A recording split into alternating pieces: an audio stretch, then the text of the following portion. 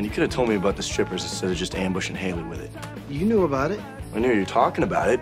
I didn't know you were gonna order them in front of my wife. Jeez, did you get married or castrated? Fine. You want me to cancel the stripper? Tell the boys it's off? No, See, you're just as excited as I am. I know you, man. whatever. Whatever. You're telling me this girl shows up all hot and willing. You wouldn't go there.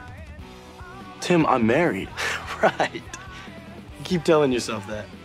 But that ring doesn't erase your past, Nate. Some of us still remember who you used to be.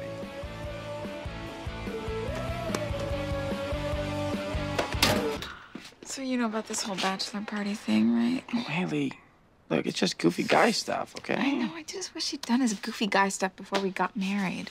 Well, he would have if you'd have gotten married 10 years from now. Joking. Sorry.